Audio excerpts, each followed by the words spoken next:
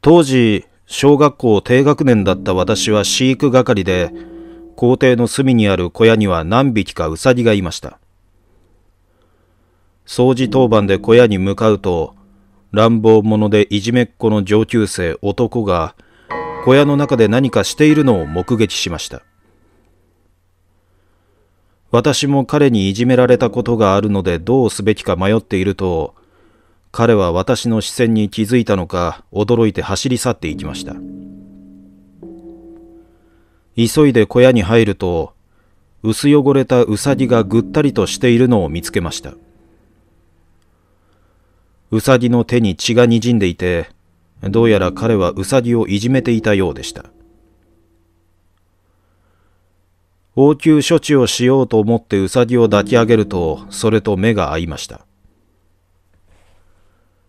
私はウサギの顔を見て、危うく悲鳴を上げてウサギを落としそうになりました。ウサギには目が一つしかありませんでした。しかも、顔の中央についているそれは人間の目でした。正直怖かったのですが、飼育係として何とかこらえ、小屋に備え付けてある薬箱で、ウサギの治療をしました。そのウサギを小屋に戻して掃除を始めようとしたとき、私は何か妙な音を聞きました。文字に表すなら、ヒュル、ヒュルルという漢字の口笛のような音です。風の音かと思っていると、その音に混じって機械音のような高い声が聞こえたんです。ヒュ、ヒュルル、事故、事故、と、発音は事故のものでした。驚いて辺りを見回すとまた声がしました。ヒュルル。ええ、ええ。それはさっきウサギをいじめていたクラスメートの名前でした。気のせいではないと確信すると、さっきの一つ目ウサギと目が合いました。愕然とする私の前でウサギは、ヒュル、潰れる、潰れる、腕、腕、と言ったのです。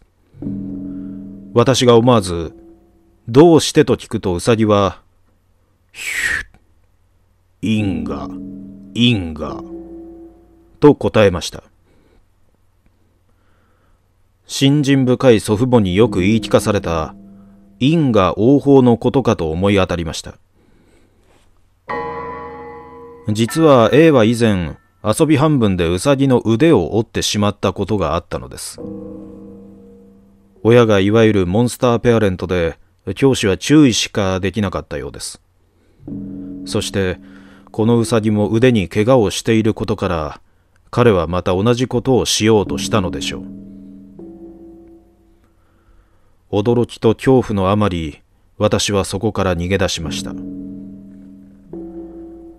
次の日、小屋に行ったのですが、一つ目のウサギの姿はありませんでした。あれは夢だったのだろうかと思って教室に戻ろうとすると、目の前に A が立ちふさがりました。お前昨日見てただろ。先生にチクったら殺すからな。そんな感じの脅しをされ、私が何も言えずにいると、不意にあのうさぎの声がしました。ヒュル、ヒュ下がれ、下がれ、と。不穏なものを感じて私がとっさに後ずさると、次の瞬間、A の姿は消えていました。飼育小屋の隣にある補修工事中の倉庫の壁に立てかけてあった鉄筋が A の上に倒れたのです。A は鉄筋の下で腕が潰れた、痛いと何度も叫んでいました。見ると、ぺしゃんことまでは言いませんが、腕が鉄筋の下敷きになって潰れていました。鉄筋が倒れる際の轟音と私の悲鳴を聞きつけた教師たちが A を助け出し彼は救急車で運ばれていきました呆然としていると飼育小屋から視線を感じました振り向くと扉には固く鍵をかけたはずだったのにあの一つ目のウサギが小屋の前に座っていました。